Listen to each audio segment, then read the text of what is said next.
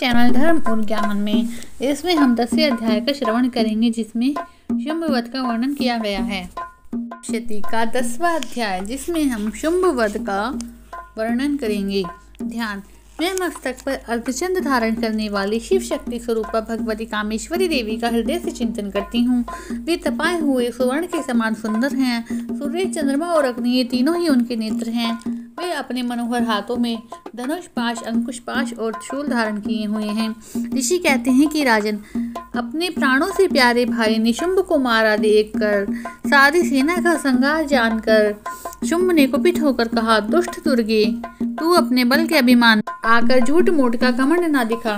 तू बड़ी माननी बनी हुई है, किंतु दूसरी स्त्रियों का सहारा लेकर लड़ती है, देवी बोली और दुष्ट, मैं अकेली ही हूँ। इस संसार में मेरे सिवा दूसरी कौन है?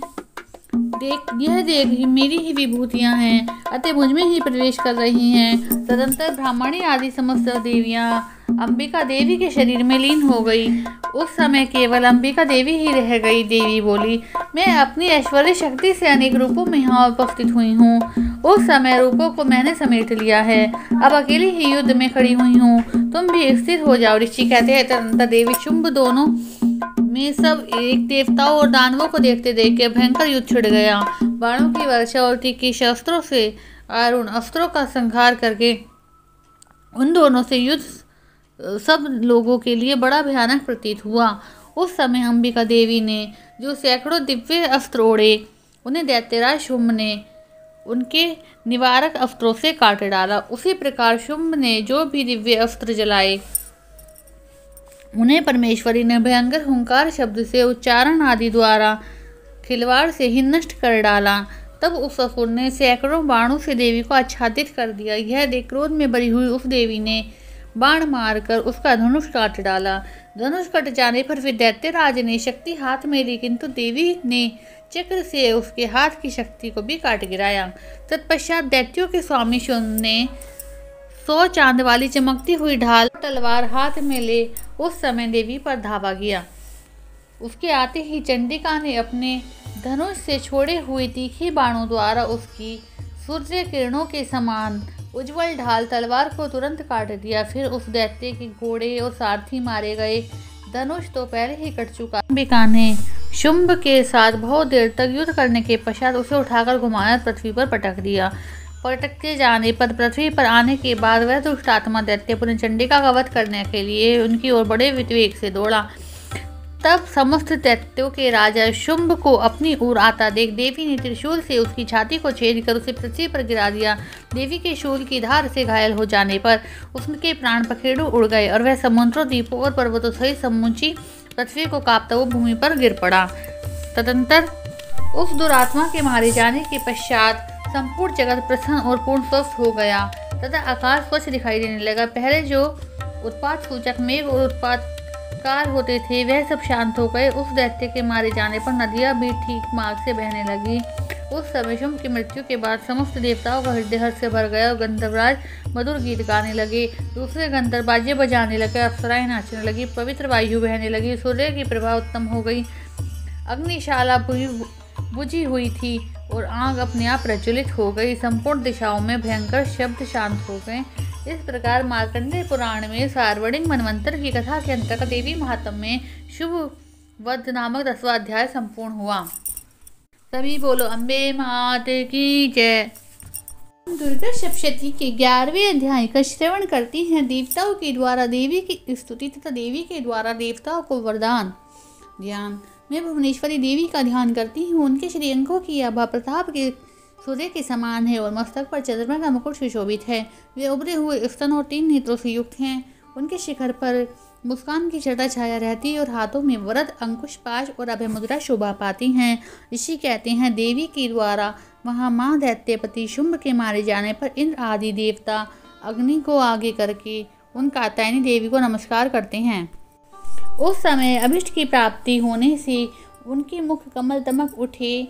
उनके प्रकाश से दिशाएँ भी जगमगा उठी। थी देवता बोले, शरणागत की पीड़ा दूर करने वाली देवी हम पर प्रसन्न हो। संपूर्ण जगत की माता प्रसन्न हो। हे विश्वेश्वरी विश्व की रक्षा करो। देवी, तुम ही चराचर जगत की अधीश्वरी हो। तुम इस जगत का एकमात्र आधार हो, क्योंकि पृथ्वी रूप में तुम्हारी ही स्थिति है। देवी, तुम्हारा पराक्रम अलंघनीय है। तुम्ही जल रूप में स्थित होकर संपूर्ण जगत को तृप्त करती हो। तुम अनंत बल संपन्न वैष्णवी शक्ति संपन्न हो, इस विश्व के कारण होता परामाया हो देवी, तुमने इस समस्त जगत को मोहित कर रखा है। तुम्हें प्रसन्न होने पर पृथ्वी पर मोक्ष की प्राप्ति कराती हो। देवी, संपूर्ण विद्याएँ तुम्हारे ही भिन्न भिन्न स्वरूप हैं। जगत में जितनी भी स्त्रियाँ हैं, वे सब तुम्हारी ही मूर्तियाँ हैं। जगदम्बा, एकमात्र तुमने ही इस विश्व को व्याप्त कर रखा है। तुम्हारी स्तुति क्या हो सकती है? तुम तो स्तवन करने योग्य, पदार्थों से भी परे एवं परावाणी हो। जब तुम सर्वस्वरूप देवी स्वर्ग और मोक्ष को प्रदान करने वाली हो, तब इसी रूप में तुम्हारी स्तुति हो गई। तुम्हारी स्तुति के लिए इससे अच्छी उक्तियाँ और क्या हो सकती हैं? बुद्धि रूप में तुम सब लोगों के हृदय में विराजमान रहने वाली, स्वर्ग एवं मोक्ष को प्रदान करने वाली नारायणी देवी तुम्हें नमस्कार है। कला, काष्ठ आदि रूप से क्रमशः परिणाम की ओर ले जाने वाली विश्व के उपसंहार में समर्थ नारायणी तुम्हें नमस्कार है। नारायणी तुम सब प्रकार का मंगल प्रदान करने वाली हो। दायनी शिवा हो। सब पुरुषार्थों को सिद्ध करने वाली शरणागत वत्सला तीन नेत्र वाली महागौरी हो। तुम्हें नमस्कार है। तुम सृष्टि, पालन, संहार की शक्ति, भूत, सनातनी देवी गुणों का आधार एवं सर्व गुणमयी हूँ। नारायणी तुम्हें नमस्कार है। शरण में आए हुए दीनों और पीड़ितों की रक्षा में संलग्न रहने वाली, सबकी पीड़ा को दूर करने वाली नारायणी देवी तुम्हें नमस्कार है। नारायणी तुम ब्रह्माणी का रूप धारण करके हंसों से जुते हुए विमान पर बैठती हुई कुशा मिश्रित जल छिड़कती रहती हो, तुम्हें नमस्कार है। महेश्वरी रूप में तुम त्रिशूल, चंद्रमा और सर्प को धारण करने वाली, मान वृषभ की पीठ पर बैठने वाली नारायणी देवी तुम्हें नमस्कार है। मोर और मुर्गों से घिरी रहने वाली, वह शक्ति धारण करने वाली, कुमारी रूप धारणी, निष्पापी नारायणी तुम्हें नमस्कार है। शंख चक्र गदा शंख धनुष उत्तम आयुधों को धारण करने वाली वैष्णवी शक्ति स्वरूप नारायणी। तुम प्रसन्न हो, तुम्हें नमस्कार है। हाथ में भयानक महाचक्र लिए दाणों पर धरती को उठाए वारा ही रूप धारणी। कल्याणमयी नारायणी, तुम्हें नमस्कार है। भयंकर नरसिंह रूप से दैत्यों के वध के लिए उद्यत रहने वाली, त्रिभुवन की रक्षा में स्वयं रहने वाली नारायणी, तुम्हें नमस्कार है। मस्तक पर किरीट और हाथ में महावृष धारण करने वाली सैफ नेत्रों के कारण उद्दीप्त दिखाई देने वाली देवी। वृत्रसुर के प्राणों का अपहरण करने वाली इंद्र शक्ति स्वरूपा नारायणी देवी तुम्हें नमस्कार है। शिव दूती रूप से तुम दैत्यों की महती सेना का संहार करने वाली हो, भयंकर रूप धारण कर विकट गर्जना करने वाली हो। तुम्हें नमस्कार है। दाड़ों के कारण विकराल मुख वाली सुशोभित मुख दंडिनी चंद्र स्वरूपा नारायणी तुम्हें नमस्कार है। लक्ष्मी लज्जा महाविद्या श्रद्धा पुष्टि स्वधा ध्रुवा महारात्रि महाविद्या स्वरूपिणी नारायणी तुम्हें नमस्कार है। मेरा सरस्वती वया भूति, भूरे रंग वाली पार्वती तामसी नियता, ईशा रूप धारणी, तुम्हें नमस्कार है। सर्व स्वरूप सर्वेश्वरी, सब प्रकार की शक्तियों से संपन्न दिव्य रूप दुर्गे देवी, सब भयों से हमारी रक्षा करो, तुम्हें नमस्कार है कात्यायनी। यह तीन लोचनों से विभूषित, तुम्हारा सौम्य मुख सब प्रकार के भयों से हमारी रक्षा करे, तुम्हें नमस्कार है भद्रकाली। जालों के कारण विकराल प्रतीक होने वाली अत्यंत भयंकर और समस्त असुरों का संहार करने वाली तुम्हारा त्रिशूल भय से हमें बचाए। तुम्हें नमस्कार है। देवी, जो अपनी ध्वनि से संपूर्ण जगत को व्याप्त करके दैत्यों के तेज को नष्ट किए देता है, वह तुम्हारा घंटा। हम लोगों को की पापों से उसी प्रकार रक्षा करे, जैसे माता अपने पुत्रों की बुरे कर्मों से रक्षा करती है चंडी की। तुम्हारे हाथों में सुशोभित खड़क, जो असुरों के रक्त और चर्बी से चर्चित है। हमारा मंगल करे। अब तुम्हें नमस्कार करती हैं, देवी। प्रसन्न होने पर सब रोगों को नष्ट कर देती हो और कुमित होने पर मनवांचित सभी कामनाओं का नाश कर देती हो। जो लोग तुम्हारे शरण में जा चुके हैं, उन पर विपत्ति तो आती ही नहीं। तुम्हारे शरण में आए हुए मनुष्य दूसरे को शरण देने वाले हो जाते हैं। अंबिके, तुमने अपने स्वरूप को अनेक भागों में विभक्त करके नाना प्रकार के रूपों से इस समय इन धर्मद्रोही महादैत्यों का संहार किया है, वह सब दूसरी कौन कर सकती है? विद्याओं में ज्ञान को प्रकाशित करने वाली शास्त्रों में, वेदों में तुम्हारे सिवा किसका वर्णन है? तथा तुमको छोड़कर दूसरी ऐसी कौन सी शक्ति है जो इस विश्व को अज्ञान में घोर अंधकार से परिपूर्ण ममता रूपिणी गड़े से निरंतर भटका रही हो? यहाँ राक्षस, वहाँ भयंकर विश्व विश्व वाले सर्प, शत्रु जहाँ लटेरों की सेना, जहाँ दावानल हो वहाँ तथा समुद्र के बीच में भी साथ रहकर तुम विश्व की रक्षा करती हो, विश्वेश्वरी। तुम विश्व का पालन करती हो, विश्व स्वरूपा हो, इसलिए संपूर्ण विश्व को धारण करती हूँ। तुम भगवान विश्वनाथ की भी वंदनिया हो।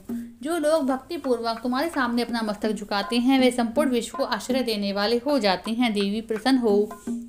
जैसे इस समय असुरों का वध करके तुम शीघ्र ही हमारी रक्षा की है, उसी प्रकार सदा हमें शत्रुओं से के भय से बचाओ। संपूर्ण जगत को पाप को नष्ट कर दो। उत्पाद तथा पापों के फल को प्राप्त होने वाले महामारी आदि बड़े बड़े उपद्रवों को शीघ्र दूर करो। विश्व की पीड़ा दूर करने वाली देवी, हम तुम्हारे चरणों पर पड़े हुए हैं। हम पर प्रसन्न हो। त्रिलोक निवासिनी की पूज्य परमेश्वरी, सब लोगों को वरदान दो। देवी बोली, देवताओं, मैं वर देने को तैयार हूँ। तुम्हारे मन में जिस वर की इच्छा हो, सो मुझसे मांगो। संसार के लिए उस उपकार वर को मैं अवश्य दूँगी। देवता बोले, सर्वेश्वरी, तुम इसी प्रकार तीनों लोगों की समस्त बाधाओं को शांत करो। हमारे शत्रुओं का नाश करती रहो, देवी बोली देवताओं।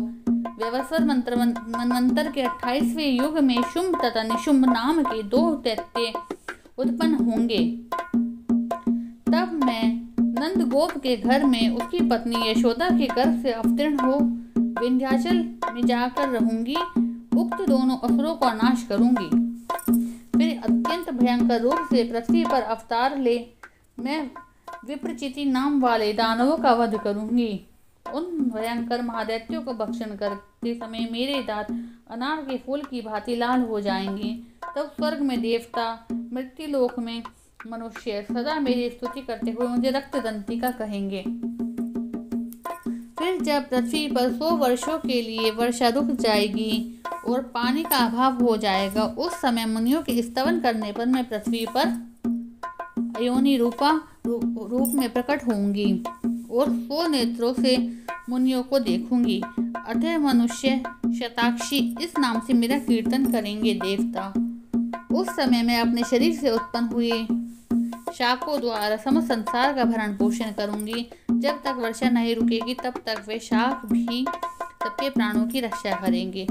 ऐसा करने से पृथ्वी पर शाकंवरी नाम से मेरी ख्याति होगी। उसी अवतार में मैं दुर्गम नामक महादैत्य का वध भी करूँगी। इससे मेरा नाम दुर्गा देवी के रूप में प्रसिद्ध होगा। फिर मैं जब भीम रूप धारण करके मनुष्यों की रक्षा के लिए हिमालय पर रहने वाले राक्षसों का भक्षण करूँगी उस समय सब मुनि भक्ति से नतमस्तक होकर मेरी पूजा करेंगे। तब मेरा नाम भीमा देवी के रूप में विख्यात होगा। जब अरुण नामक दैत्य तीनों लोगों में भारी उपद्रव मचाएगा, तब मैं तीनों लोगों का हित करने के लिए छह पैरों वाली असंख्य ब्रह्मों का रूप धारण करके उस महादैत्य का वध करूँगी। उस समय सब लोग भ्रामरिक के नाम से चारों ओर मेरी स्तुति करेंगे। इस प्रकार जब जब संसार में दानवी बाधा उपस्थित होगी, तब तब मैं अवतार लेकर शत्रुओं का संहार करूँगी। इसी प्रकार मार्कंडेय पुराण में श्रवण की मनवंतर की कथा के अंतर्गत देवी महात्मा देवी स्तुति का ग्यारहवा अध्याय संपूर्ण हो। बोलो अम्बे माती की जय। नव दुर्गा महारानी की जय। भगवती महारानी की जय।